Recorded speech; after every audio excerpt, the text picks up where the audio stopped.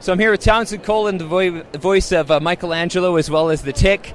And uh, does it take a lot of confidence to voice bravado and cool characters like the Tick and Michelangelo? Mm, Well, yeah, kind of, sort of, and that's why I'm not so good at it because I, I, I don't, I don't have any confidence. I can't say it takes bravado and confidence. I think, uh, you know, I just close my eyes and uh, hope something comes out right.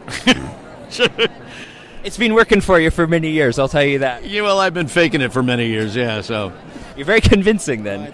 Uh, when voicing a big blue character like the Tick, do you voice him standing upright with your hands on your hips, or uh, could you do him sitting down as well? You know, actually, I, I did, did the entire series sitting down. Yeah, I don't know that I could do it standing up. Really? Yeah, it would be kind of weird. I, it's e- somehow easier for me to relax and just, you know, sort of be, uh, uh, you know, I I was going to say at one with the character. Um, yeah, yeah, no, I just uh, I work sitting down, so it's um, yeah, that's it. Okay. Now, Michelangelo is addicted to pizza. Do you share the same addiction, and what's your favorite kind of pizza? I can't say it's an addiction. I love pizza, and uh, I'm not so much an anchovy and hot fudge guy. Although anchovy and hot fudge is not a bad way to go, dudes.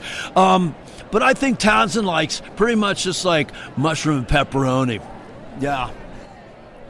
Uh, what's it like to have action figures in video games based on the characters that you voiced? Totally awesome.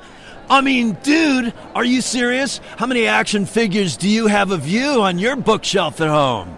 That would be none. yeah, I'm But I have lots of you. Yeah, why? Why? Thank you. Yeah, you know, I started getting characters, um, uh, action figures of Michelangelo when he first started coming out in uh, what '88 or so, and. Uh, and then they started coming out. They, they were like uh, multiplying like rabbits, and there were too many of them, and I had to finally stop collecting. But it's very cool. I try and get at least one character of, uh, or one action figure of all the characters that I've done. You have some of the Lego stuff too.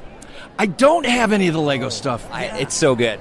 They, they, they, ca- they captured your likeness. No, that's that's actually that's one that I don't have. So Okay. I I, I I. I know where I'm going shopping. Yeah.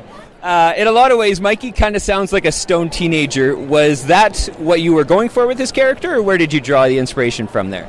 Uh, that's actually what they were going for, and I, and I don't want to say stoned character. They weren't going for a stoned character, but they did want the, the sort of surfer dude, you know, sort of thing when we were auditioning for it, and um, and they they had given uh, as a reference uh, Sean Penn in uh, Fast Times at Ridgemont High, and I thought, okay, I sort of got that vibe a little bit, and so I tried that, and it worked.